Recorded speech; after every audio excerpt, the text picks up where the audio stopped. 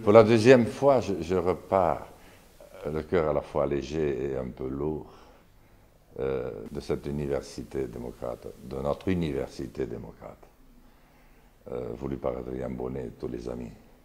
Le cœur léger parce que j'ai entendu librement, tous assis en cercle, sans siège pré-choisi, dans un merveilleux coin d'ombre, dans cet automne qui s'installe doucement, cette fin d'été, des choses magnifiques qui étaient dites en toute simplicité.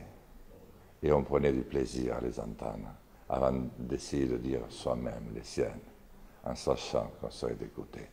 Et je parle le cœur euh, lourd parce que je me dis que décidément, dans cette vie de chien que l'on mène, on rate quand même beaucoup de bons moments et tout ce que je vais raté, euh, je le regrette. Eh bien, voilà un espace dont nous avons tous tellement besoin. Un espace euh, bienveillant, un espace de facilitation de celui qui s'exprime et de celui qui écoute, et qui les encourage à une communion. Et ils se sentent forts dès lors, ils se sentent plus grands, ils grandissent ensemble.